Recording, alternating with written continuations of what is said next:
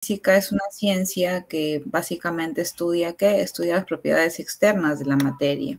Llámense externas a que tienen que ver con movimiento, con temas de acción y reacción que van ligadas a la materia, más allá de, lo, de la parte íntima de la materia que ya lo estudia en sí la química, ¿no? Para que ustedes ya estén en este nivel de cuarto año, eh, ya han pasado por la química, ya han entendido parte de ello.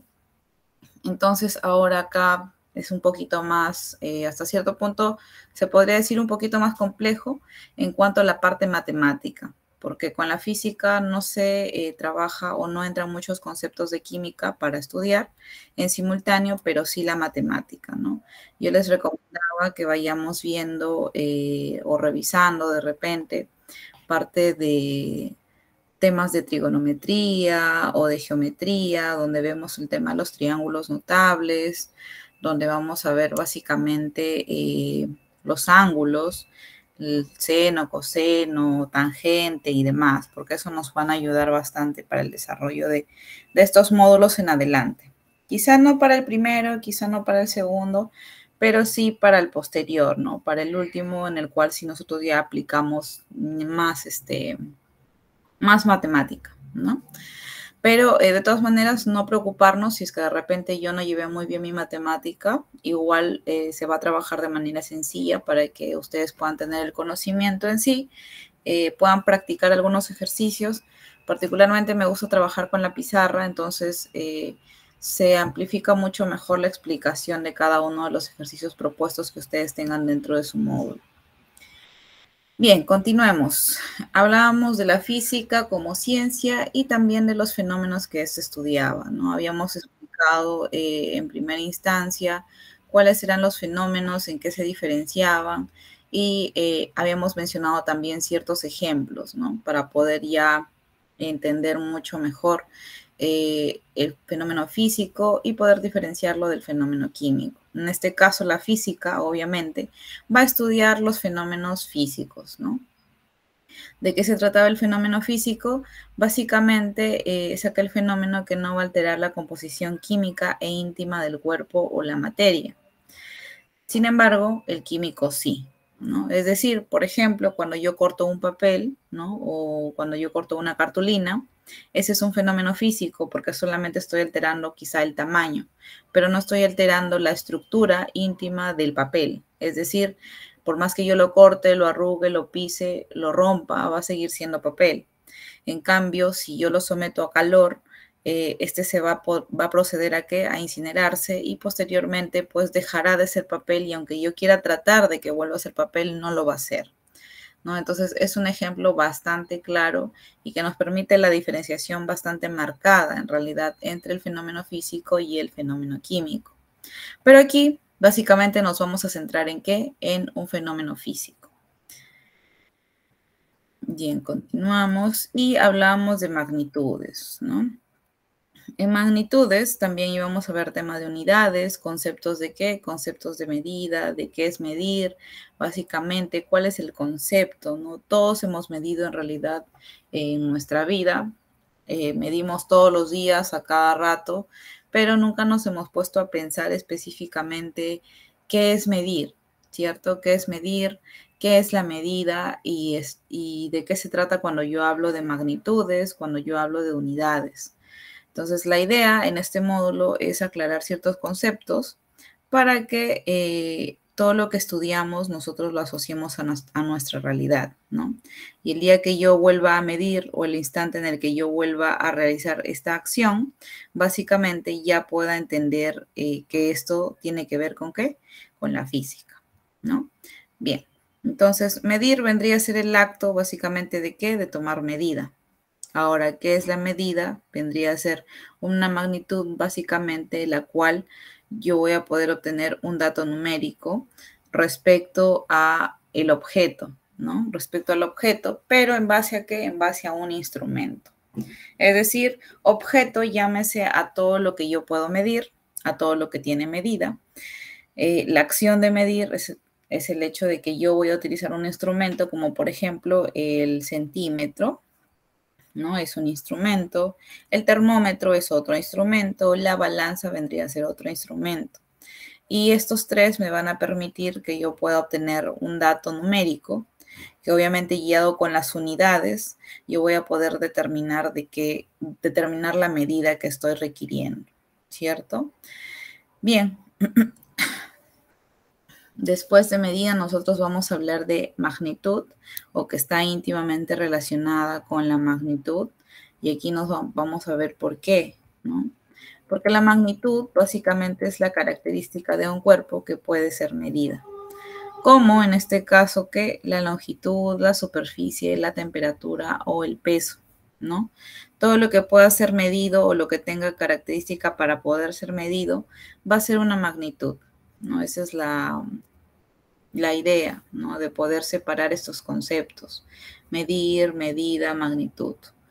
Y esto de acá, de todas maneras, va a ir acompañado eh, en muchos casos, ¿no? Acerca, eh, en base a qué, a una unidad, para poder determinar a qué tipo de medida estoy tomando, ¿no? O cuál va a ser mi magnitud específica.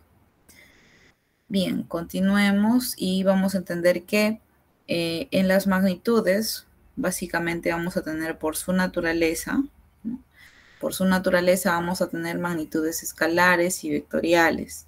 En la clase anterior yo preguntaba ¿no? a los chicos, ya en base a los ejercicios que tenemos en la parte posterior, eh, cuáles eran magnitudes escalares, cuáles eran magnitudes vectoriales y por qué, básicamente.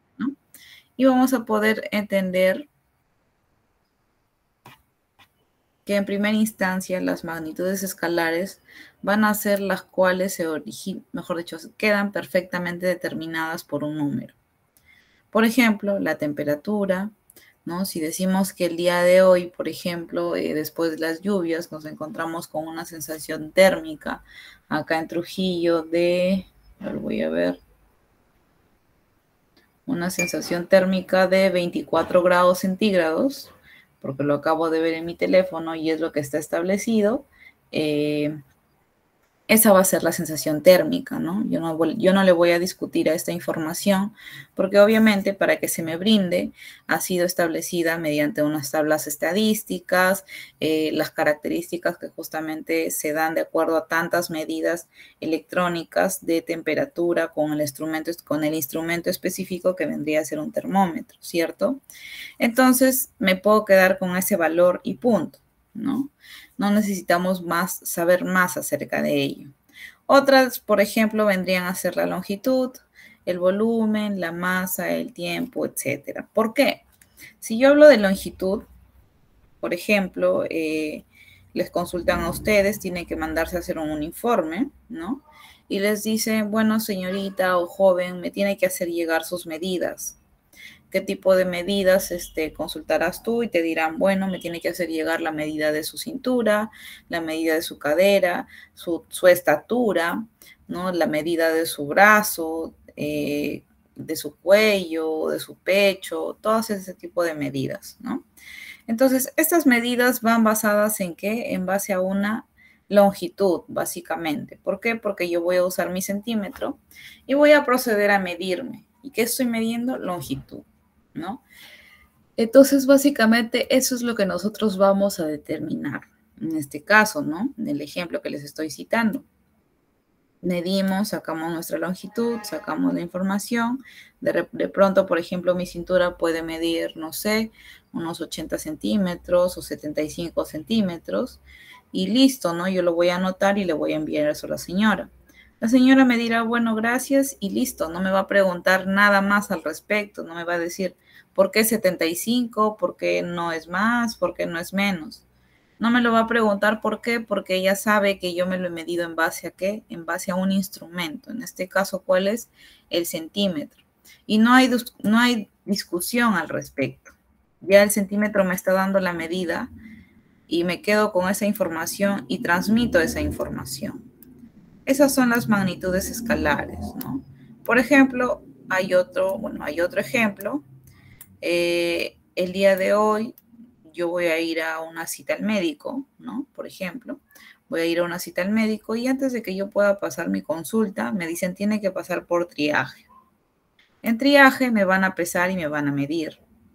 Ahí yo me subiré en la balanza y me saldrá un número, ¿cierto? Me va a salir de repente, no sé, eh, me puede salir 60 kilos, ¿no? 61, 62, lo que me salga.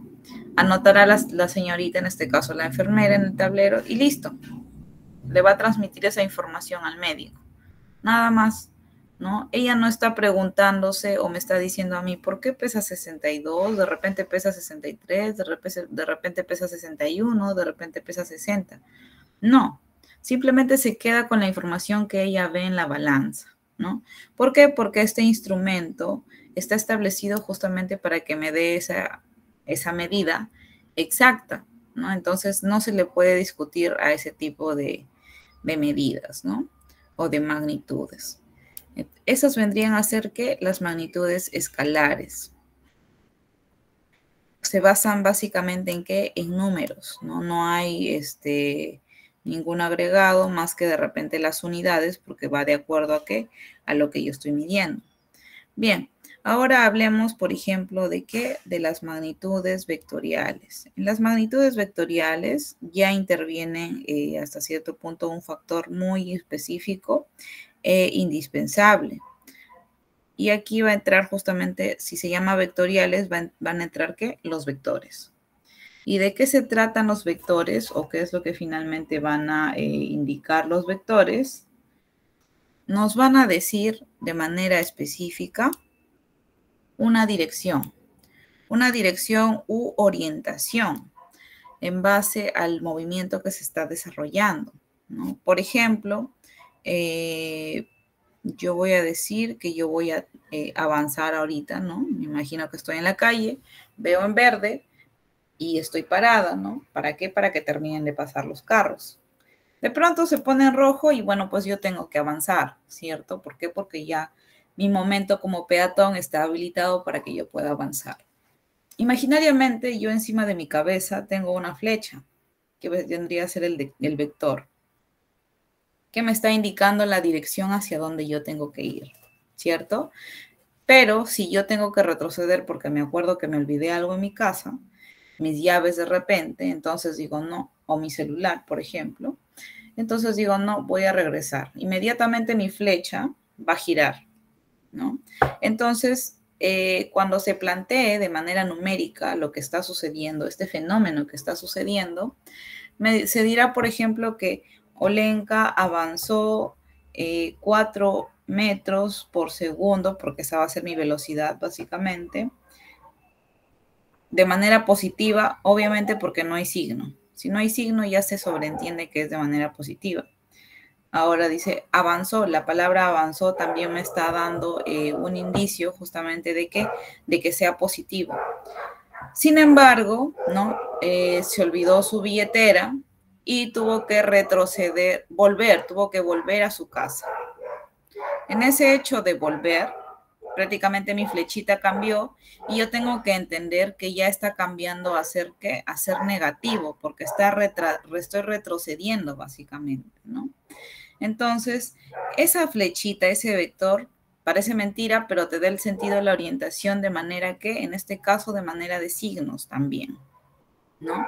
Para que tú puedas tenerlo en cuenta al momento que desarrollas tus ejercicios, ¿no? Entonces, sí o sí, eh, hay que tener en cuenta eso y aquí vamos a encontrar muchos ejemplos, ¿no? Como cuál es, por ejemplo, la velocidad, ¿no? También este, la aceleración y demás, ¿no? Entonces, con estas explicaciones o con lo que se ha venido justamente conversando, tenemos estos ejercicios, ¿no? Donde se nos consulta, determine si las siguientes cantidades son escalares o vectoriales, ¿no? O sea, van a ser magnitudes escalares o vectoriales.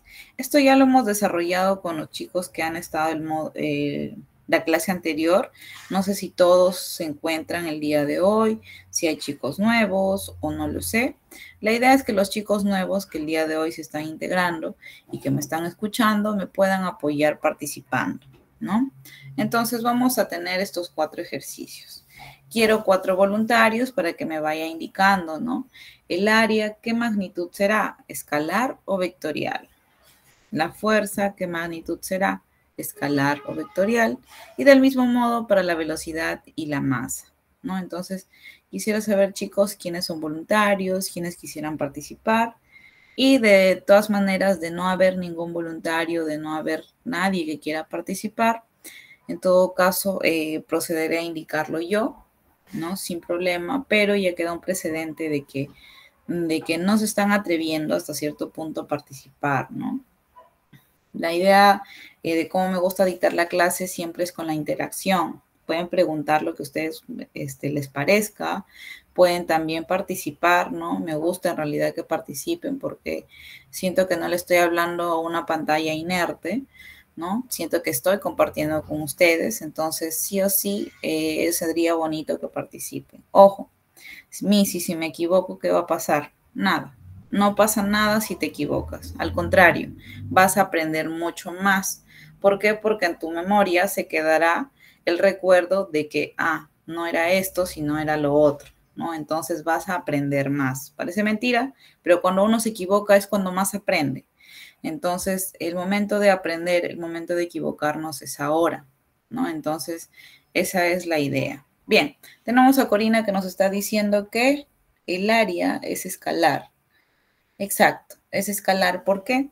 Porque el área se basa en, medidas eh, longitudinales, ¿cierto? Por ejemplo, tenemos el área del cuadrado, o mi papá de repente me, me heredó un terreno, ¿cierto? Que es, un cuadrado. Y yo quiero saber cuál es el área. Me voy y mido, pues, ¿no? Longitud de un lado por otro lado, porque ese es el área de un cuadrado. La mido y me sale, por ejemplo, mil metros por acá y mil metros por acá. Finalmente, cuando tendré mil por mil, van a ser mil metros que, pero al cuadrado, ¿cierto? Entonces, voy a poder yo tener mi resultado y en algún momento alguien me va a discutir ese resultado. Nadie me lo va a discutir, ¿por qué? Porque ya lo medí, ¿no? Ya lo medí con mi wincha, eh, qué sé yo, con otro, con otro instrumento, ¿no? Pero ya tengo el resultado y nadie me, va, nadie me lo va a poder discutir. Quizá habrá un centímetro más, un centímetro menos, porque bueno, lo medí muy rápido, ¿no? Pero nada más, no hay, no hay más tema de discusión, ¿cierto? Bien, la fuerza. ¿Quién quisiera participar con la fuerza?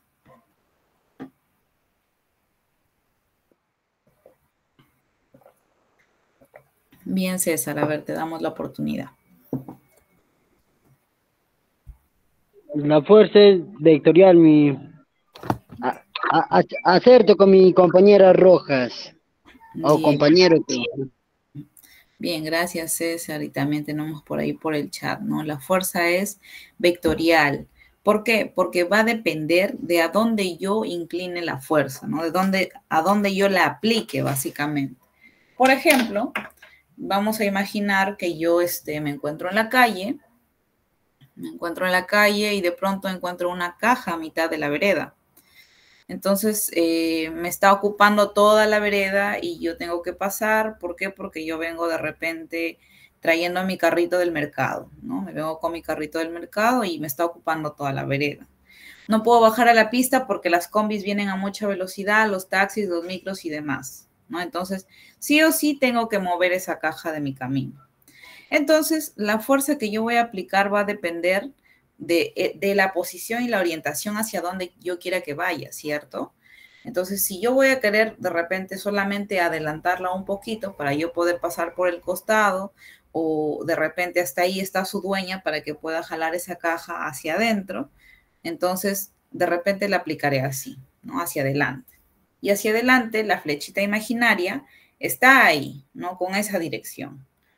Pero de repente sale una señora de la otra casa y me dice, señor, por favor, ayúdeme, jáleme esa caja para acá. En todo caso, tendría que retroceder. La fuerza que yo voy a ejercer va a ser jalando y la flechita va a estar apuntando hacia dónde? Va a, estar apuntando desde la caja hacia mi pecho, ¿no? ¿Por qué? Porque yo voy a tender a jalar. Y se dan cuenta, la orientación es totalmente distinta. ¿no? Entonces, ¿va a depender o no va a depender de un vector? Claro que sí. Entonces, por eso se le considera vectorial. ¿no? Bien, excelente chicos. Muchas gracias por su participación. A ver, tenemos la velocidad. ¿La velocidad qué será? ¿Qué magnitud será? Vectorial también, Miss. También vectorial, ¿no? Bien, César, gracias por tu participación nuevamente. Vectorial, ¿por qué? Porque va a depender, este, bien, Corina, también, gracias. ¿Por qué? Porque va a depender hacia dónde yo voy a ir, ¿cierto? Si yo voy a ir eh, hacia la derecha y si, y si eso me implica un avance, bueno, pues me implica justamente que la flechita esté hacia adelante, ¿no? De pronto yo me voy a ir, por ejemplo, eh, el día de hoy decido yo tomar la caminata hacia la Laguna 69, por ejemplo, ¿no? Allá en Huaraz. Yo voy a ir a una velocidad, ¿no? Tengo que ir a una velocidad mayor y también ejercer fuerza para poder subir, ¿cierto? Porque va de subida. En este caso mi flechita va a ir hacia dónde? Hacia arriba. Pero ojo, acá va a entrar una resistencia porque por la altura y mi peso, que va a ser contraria. Pero aún así mi flechita vectorial va a ir hacia arriba, ¿no? Porque ese es como yo estoy avanzando y hacia dónde va dirigida mi velocidad, ¿no? Bien, la masa, la masa, ¿qué magnitud será?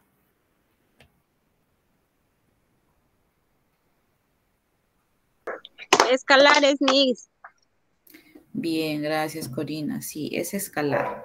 ¿Por qué es escalar? Porque yo el día de hoy me voy a pesar y, listo, ¿no? Ya obtengo el resultado, simplemente le agrego la unidad de kilogramos y listo, ya está, ¿no? Yo voy al mercado y le digo, señora, por favor, dame un kilo de pollo. Ella lo pondrá en su balanza, el pollo, y, listo, me lo va a entregar y yo le voy a cancelar por el, por el peso del pollo nada más, ¿no? No me interesa qué dirección tenga. Es más, no tiene dirección y orientación la, masa, ¿no? Para nada. Entonces, sí o sí es considerada una magnitud escalar, ¿no? Bien, entonces creo que ha quedado bastante claro, ¿no? Este, estos ambos conceptos de magnitudes y la diferencia que existe entre ambos, ¿no? Entonces, con esto, con esta información, vamos a proceder a continuar. Bien, vamos a ver las magnitudes por su origen, ¿no? Hasta cierto punto estamos haciendo una retroalimentación, ¿no? Los chicos que ya han estado en la clase anterior eh, se, deben estar dando cuenta al respecto. Me imagino que esto ya lo saben al revés y al derecho. En algún momento que yo pregunte el último día de clases, ya van a ser unos máster, pues, ¿no? Respondiéndome cualquier pregunta. Ahora tenemos otra clasificación por su origen. En esta clasificación vamos a encontrar también dos tipos de magnitudes. Una de ellas va a ser eh, fundamentales y las otras van a ser derivadas, ¿no? En las fundamentales, yo a quienes voy a tener, voy a tener básicamente aquellas magnitudes físicas que gracias a su combinación van a dar origen a quienes, a las magnitudes derivadas. Van a ser específicamente tres. Miss, pero yo veo que acá este, usted en su cuadro pone 7. Mm, no importa, solamente nos centramos en las tres primeras, ¿no? Quizá debí cortarlo, quizás sí, pero es parte también para que ustedes sepan cuáles pueden ser otras magnitudes, ¿no? Pero cuáles son las tres principales y únicas que se consideran hasta el día de hoy como fundamentales, van a ser cuáles la longitud, la masa y el tiempo. Solo esas tres. Entonces, cuando yo pregunte, chicos, a ver cuáles son las magnitudes fundamentales, ustedes me dirán longitud, masa y tiempo. No hay nada más, ¿no? Las otras magnitudes que son o que van a ser, van a ser derivadas, ¿no? Bien, tenemos para estas magnitudes sus dimensiones, ¿no? De repente ya he tenido la oportunidad de, hablar con algunos, eh, con algunos chicos, ¿no? El interno, que de repente ya me han consultado acerca de su examen y les he hecho llegar justamente esta tablita o la otra que es más completa, ¿no? Donde se evalúa, mejor dicho, donde está ejemplificada la dimensión, la dimensión de la magnitud. ¿Es importante, eh, mis, que yo conozca la dimensión de la magnitud? Claro que sí. ¿Por qué? Porque en tu examen, en tu evaluación, te vienen, te vienen eh, problemas ¿no? ¿En base a qué? En base a las dimensiones de la magnitud. ¿Por qué? Porque hasta el momento todo este módulo en su mayoría va a ser teórico, ¿no? Entonces, al ser teórico, simplemente nos basamos en el desarrollo en base a qué? A la teoría, ¿no? Entonces, sí o sí, me, yo me tengo que saber las dimensiones. Mis, pero yo he visto que más adelante ustedes hablan de metro por segundo, kilómetro eh, por, por hora, kilómetro por hora, aceleración, ángulos y demás. eso es más adelante. ¿No? Hasta acá o a este módulo vamos a llegar justamente a trabajar con qué? Con las dimensiones de las magnitudes. Es importante que yo sepa esto, claro que es importante. ¿Por qué? Porque es como si yo trabajara con números, pero en este caso estoy trabajando con qué? Con letras. Pero me voy familiarizando con los ejercicios eh, relacionados a la física, pero que tienen que ver con qué? Con la matemática, ¿no? Bien, entonces tenemos la magnitud, en este caso para la longitud, la dimensión vendría a ser L, L mayúscula, ¿no? Como ya eh, si tienen su módulo a la mano, pueden ir verificando, por ejemplo, su, su evaluación y van a darse cuenta de L, van a darse cuenta de otras variables, ¿cierto? De otras dimensiones. Entonces vamos a tener que a L le corresponde, eh, perdón, a longitud le corresponde la L mayúscula. Su unidad es el metro y el símbolo de esta unidad vendría a ser la M. Miss, ¿ahorita voy a utilizar unidad y símbolo de la unidad? No, ahorita no. No, hasta que pases al siguiente módulo. Bien, tenemos en masa. En masa, ¿qué tenemos? Que su dimensión es M mayúscula para, para ejemplificarla. Su unidad, ¿cuál es? Kilogramo y su símbolo va a ser kg. Y en el tiempo tenemos que su dimensión va a ser T, su unidad va a ser el segundo y el símbolo también va a ser el segundo, ¿no? Eh, perdón.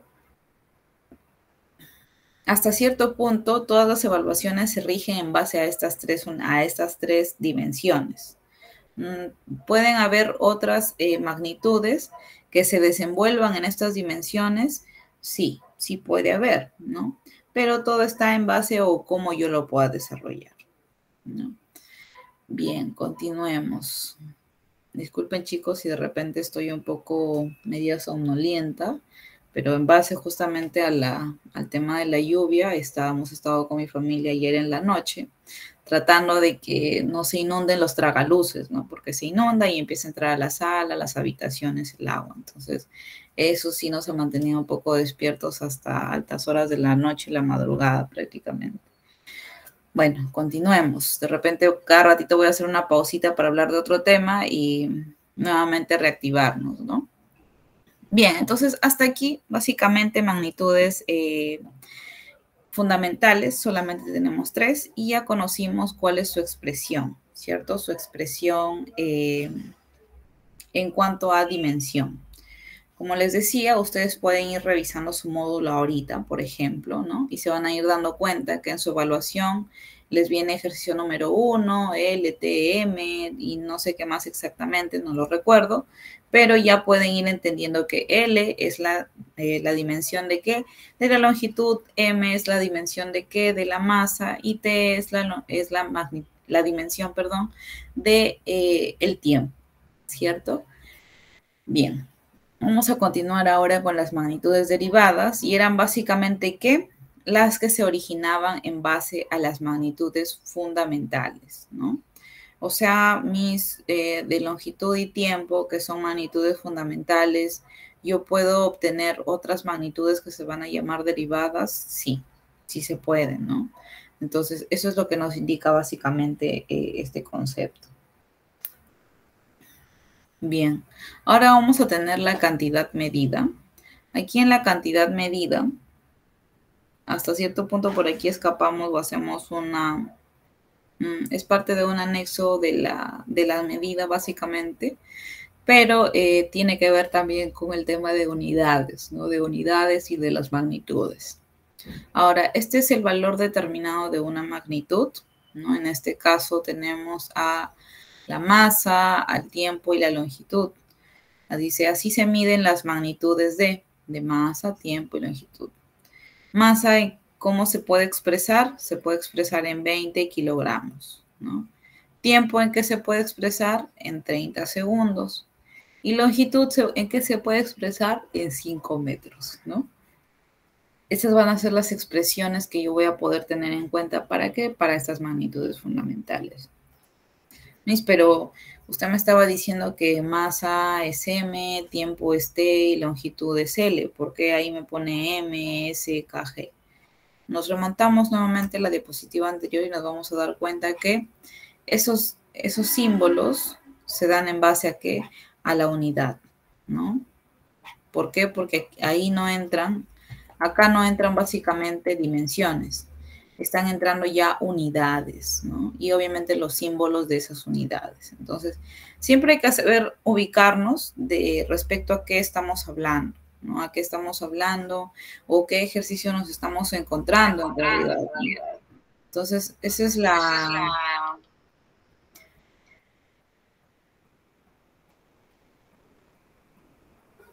Esa es, la, esa es la idea, ¿no, chicos? De poder diferenciar, ¿no? Diferenciar básicamente cuando trabajo con magnitudes, eh, perdón, con las dimensiones y cuando trabajo con las unidades, ¿no?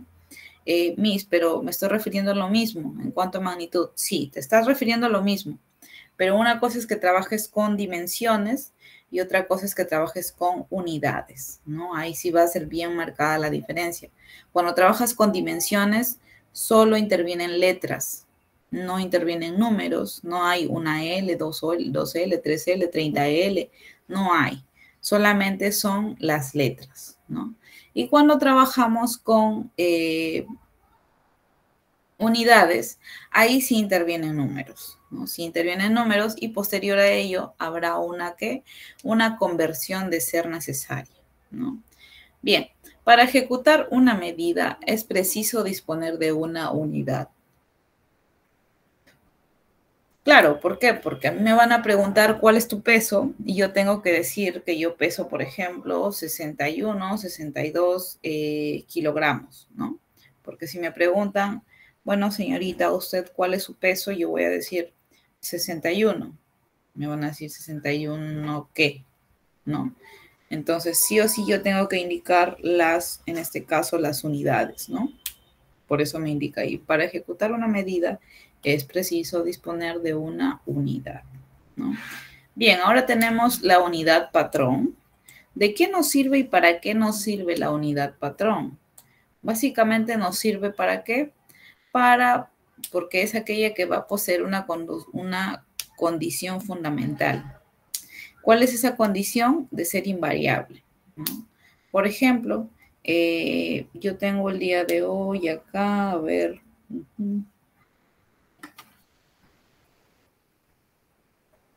Bueno, no tengo. Tengo mi centímetro, ¿cierto? Tengo mi centímetro y en ese centímetro se me establece que eh, de acá del 0 al 1 es, vale un centímetro, ¿no? Eso es lo que se me establece a mí. Y yo voy a imaginar que este centímetro es mi unidad patrón. Es decir, en esta medida de un centímetro es que yo voy a basar todas las medidas, ¿no? Entonces, eso vendría a ser la unidad patrón, porque es la que dirige prácticamente a toda la medida de esa, eh, en este caso de esta magnitud, ¿no? Por ejemplo, ah, y me dice que es invariable, claro, porque si yo mido un centímetro acá con este centímetro, me voy a ir a dónde? Me voy a ir a Japón, me voy a ir a Asia, a Corea, Corea del Norte, Corea del Sur, a donde yo quiera ir, a África de repente. Y la medida de la, de, en este caso de un centímetro, que va del 0 al 1, Va a ser la misma aquí y en la China, en el África, en Estados Unidos, en Europa y demás. Va a ser la misma medida, por eso se le llama invariable, ¿no? Eh, mis, por ejemplo, mm, tenemos que la unidad patrón de eh, que yo pueda tener, por ejemplo, en una planta para poder calibrar mis balanzas, pesa 10 kilos, ¿no? Y esa misma me está diciendo prácticamente que esa unidad patrón de peso, si yo lo peso en el extranjero, en Europa, ¿va a pesar lo mismo? Sí, va a pesar lo mismo, ¿no? ¿Por qué? Porque es una unidad patrón. Y su característica, ¿cuál es? Es que es invariable, es decir, no va a variar, ¿no? Y acá tenemos, dice, por ejemplo, 5 metros significa, tomando como unidad el metro, se establece que un metro está contenidos y hay justamente una línea, ¿no? Y lo que van a colocar ahí ustedes es 5 veces en ella. Bueno, lo más probable es que lo coloquen y ni siquiera me pregunten por qué, ¿cierto? Sin embargo, me dice ahí 5 metros, 5 metros, ojo, 5 metros significa tomando, tomando como unidad el metro, se establece que un metro está contenido cuántos. Para que yo pueda llegar a 5 metros y yo tengo un metro, básicamente, ¿qué tengo que lograr? 5 veces ese metro, ¿no? Para poder tener 5 metros. Y es justamente lo que se me plantea acá, ¿no? Yo voy a tener 1, 2, 3, 4, 5. Y acá me dice, pues no, mi unidad patrón era esta, de 1 básicamente, que fue traspasada para acá y así se ha pasado sucesivamente hasta el final, ¿no? Indicando que son 5 unidades patrón, básicamente, 5 unidades patrón de metro, ¿no? Entonces 5 metros prácticamente establece que un metro está contenido cinco veces en ella, porque acá tenemos una, dos, tres, cuatro, cinco. ¿no? Esa vendría a ser la respuesta y también ahora ya saben cuál es la razón. Bien, acá tenemos las magnitudes, en este caso, eh, las magnitudes derivadas, ¿no? Como les había dicho, Anteriormente en la diapositiva de atrás teníamos solamente siete, eh, claro, teníamos siete magnitudes, de las cuales les dije, olvídense del resto, solamente nos quedamos con las tres primeras, que era que longitud, masa y tiempo, ¿cierto? En este caso ya tenemos eh, gran cantidad de dimensiones o de magnitudes derivadas, ¿no? ¿Son todas mis las que están acá? No, no son todas, hay más, ¿no? pero vamos a trabajar de manera específica con estas. ¿Por qué? Porque hasta cierto punto eh, las primeras son las que vamos a ver siempre, ¿no? Pero las que le siguen a veces suelen ayudarnos a desarrollar un ejercicio que ya estaba planteado, ¿no? Bien, la fórmula dimensional de la magnitud, en este caso el área, ¿no? Vamos a tener que es L al cuadrado. ¿Por qué? Porque mis es el al cuadrado. El área de preferencia siempre es lado por lado, ¿no? Para poder determinar que el área, pues básicamente, ¿no? Entonces tenemos el al cuadrado y como unidad, ¿cuál será? El metro al cuadrado. ¿Por qué? Porque me hacían recordar que L, ¿no? Tenía como unidad metros. Entonces, si yo estoy acá prácticamente con L al cuadrado, será M al cuadrado. ¿cierto? Ese vendrá a ser su símbolo. Bien, ¿qué más tenemos? Eh, volumen, densidad, vamos a tener velocidad, aceleración, fuerza, trabajo, energía, potencia, presión, periodo, frecuencia, velocidad angular. Eh, particularmente hasta aquí, ¿no? Bueno, también aceleración angular, ¿no? Y bueno, ya incluyamos caudal y carga energética son las mayorías que van a tender a verse en cada uno de los ejercicios que ustedes van a tener planteados. Quizá no muy de manera específica en este, pero sí en los que le siguen, ¿no? Bien, entonces continuamos. El volumen, ¿por qué está indicado por L, por L, por L? ¿Por qué? Porque ella mide altura, mide eh, ancho y mide prácticamente que también profundidad, ¿cierto? Entonces, ya estamos hablando de un L al cubo, ¿no? L de largo, L de ancho y L de profundidad. ¿no? ¿Y cuál sería su fórmula dimensional? L al cubo, ¿cierto? ¿Y cuál sería su unidad específica? El metro cúbico. ¿Y cuál es el símbolo? M minúscula al cubo, ¿no? Esa es la, la expresión que se está dando prácticamente. Bien, tenemos la densidad, ¿no? Y en la densidad ya entra a tallar quién? Entra a tallar otra magnitud. ¿Cuál es? Vendría a ser de manera específica la masa, ¿no? desde ahí ya uno empieza prácticamente a tomar en cuenta, pues, este, qué y qué variables o qué, qué magnitudes se pueden unir, ¿no?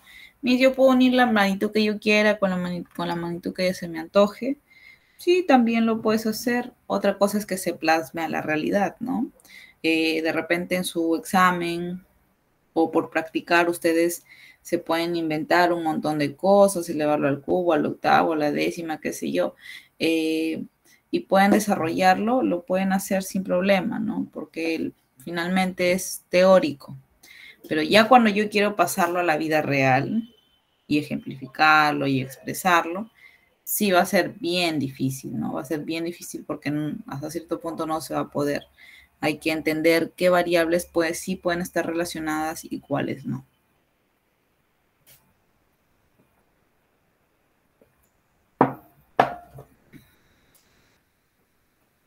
Bien, entonces pasemos ahora ¿qué? a la velocidad. En la velocidad se relacionan ya este, se relacionan qué, qué variables en este caso es el tiempo y la longitud. ¿Por qué? Porque yo lo que voy a querer saber es eh, a qué distancia, por ejemplo, si yo voy de acá al banco, ¿no? Eh, si yo voy de acá al banco, ¿en qué tiempo lo he hecho? ¿Cierto? ¿En qué tiempo lo he hecho?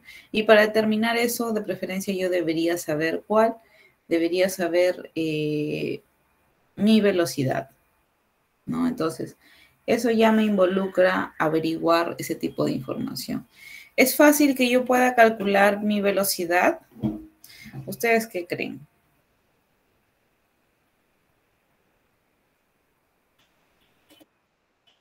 Bien, nos está levantando la mano.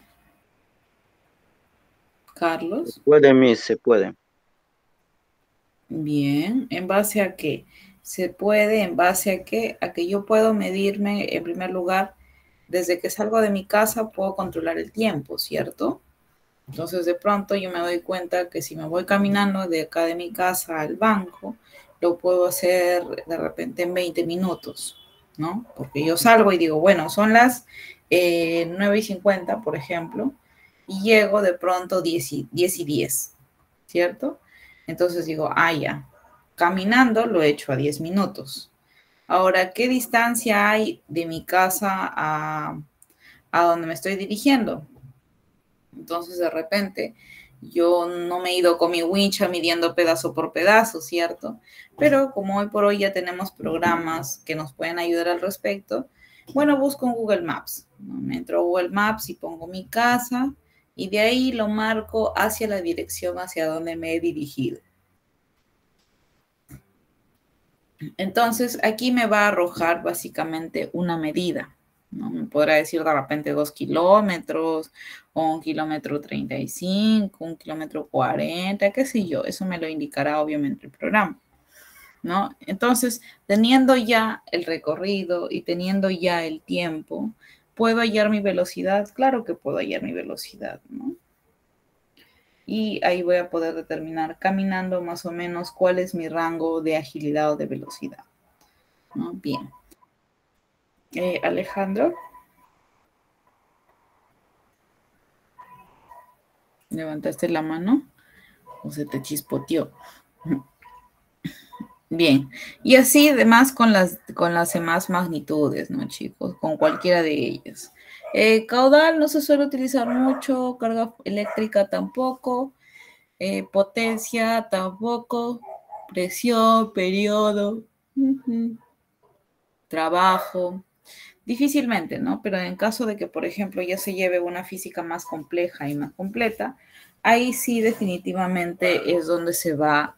Eh, se, va, prácticamente a ejemplificar más, ¿no? Mejor, se va a desglosar mejor. Bien. Continuemos, chicos.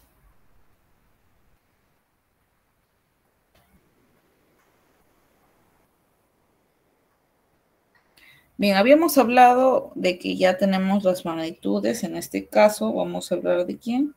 De la masa, ¿cierto? La masa básicamente nos, es una característica fundamental de que de la materia, ¿cierto? Porque eh, hasta cierto punto para que pueda existir, para que nosotros podamos verlo, eh, sí o sí tiene que tener materia para que sea concreto, ¿no? Bien, entonces tenemos que eh, desde los más pequeños componentes de los átomos hasta los mayores cuerpos celestes poseen una propiedad que llamamos como masa, ¿cierto? La masa de un cuerpo se determina pesándolo es decir, comparando su masa con la de otro cuerpo de masa conocida. Por ejemplo, de un kilo, ¿no? De esa manera nosotros ya tenemos una idea de cuánto pesa tal o cual cosa. Hay muchas personas, por ejemplo, muchas chicas de repente que van al mercado, ¿cierto? Y ellas ya saben más o menos, van agarrando sus zanahorias, sus manzanas, metiéndolas a su bolsa y hasta cierto punto ya saben cuánto es un kilo aproximadamente, ¿no? O dos kilos, ¿no? Lo mismo pasa aquí, ¿no? Pero en este caso sí cada institución está obligado pues de contener o de tener una pesa patrón por lo menos de 10 kilos para poder tener una idea de, qué, de cuánto es la masa que yo voy a, que yo voy a aplicar o que yo voy a obtener.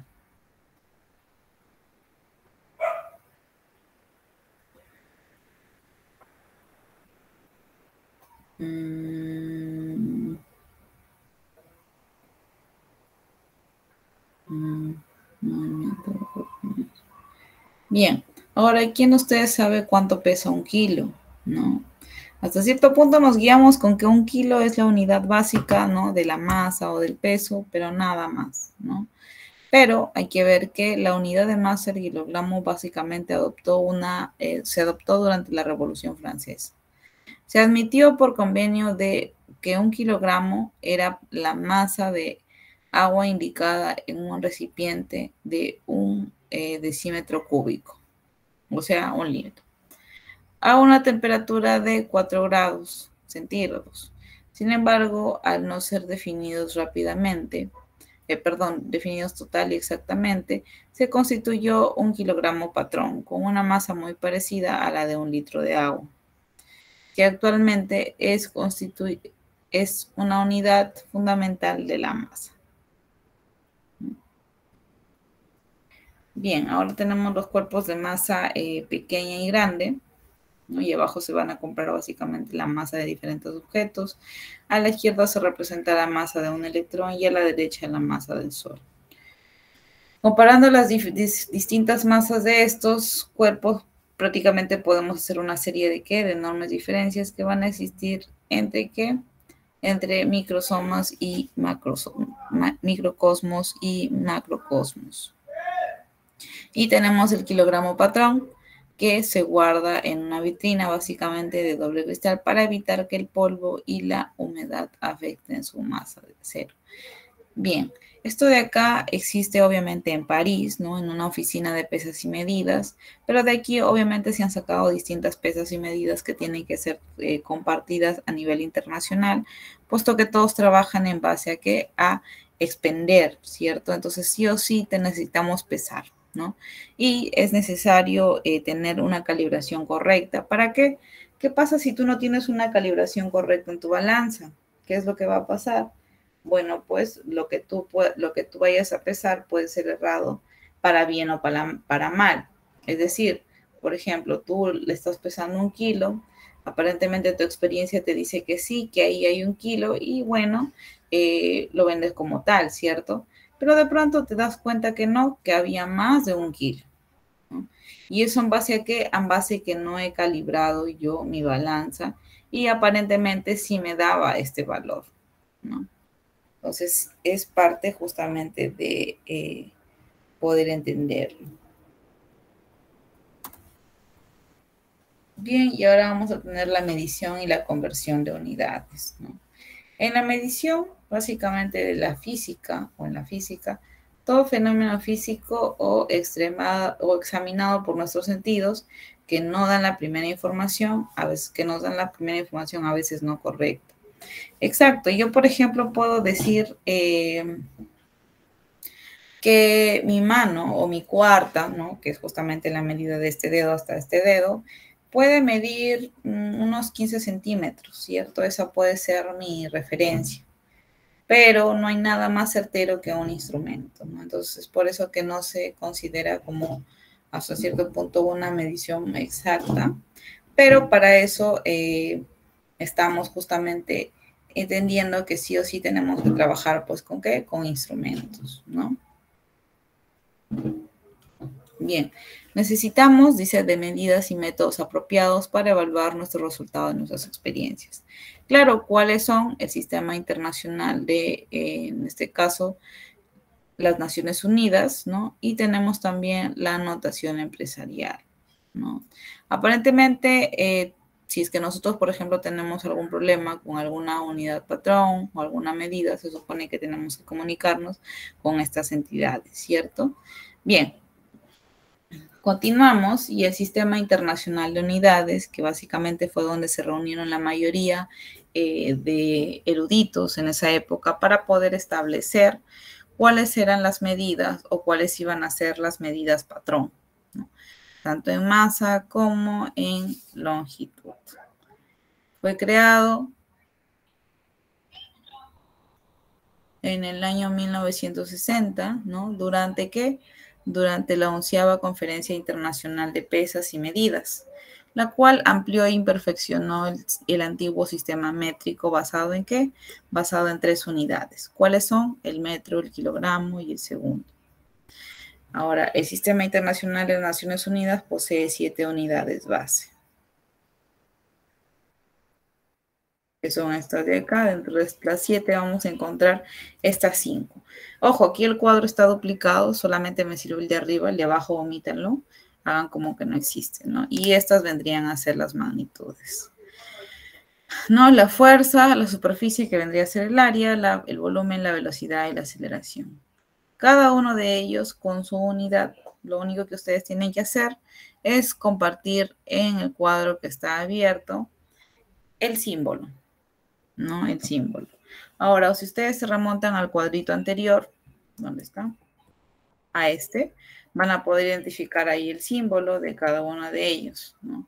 El nombre como tal, así escrito, y la fórmula dimensional si es que aún así lo desean. Pero en sí lo que más se necesita es que ese símbolo y obviamente tener en cuenta cuáles son las unidades, ¿no? En este caso, por ejemplo, tenemos fuerza y nos dice que la unidad es Newton. ¿Y el símbolo cuál es? N, N mayúscula, ¿no?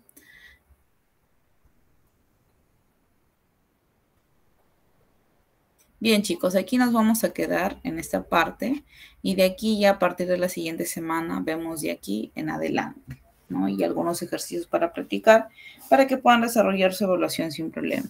Si aún así no ha quedado claro, me pueden igual escribir ¿no? para poder apoyarles justamente en el desarrollo de la misma. Después, eh, no sé si de repente existe alguna consulta al respecto, quieren preguntar algo, algo no ha quedado claro.